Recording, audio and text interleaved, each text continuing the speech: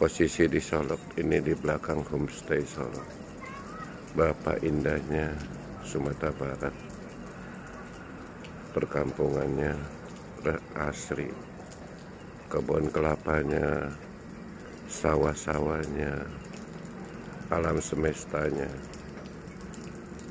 Inilah Sumatera Barat Solok. Berapa keindahan? Gunung-gunungnya alamnya. Jauh dari kalau kita lihat di, di, di sini wisata berkarya. Kita sambil wisata sambil berkarya. Indahnya alam semesta Sumatera Barat kota Solo. Sini penghasilannya ya persawahan pertanian dan uh, perkebunan kelapa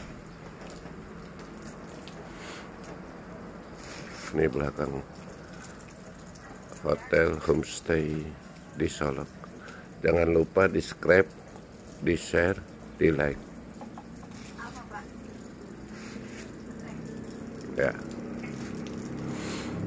Inilah petualang A Agun karya wisata sambil melihat pemandangan yang asri indah nyaman tertib masyarakat di kampung-kampung naik sepeda. Indah sekali negeriku dan negaraku ini kafenya di belakang hotel asri. Di malam hari mereka santai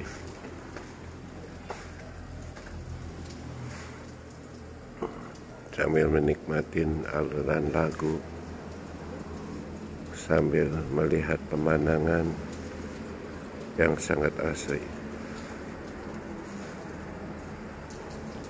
Oke, jangan lupa di like, di subscribe, di share. Inilah keindahan Solok.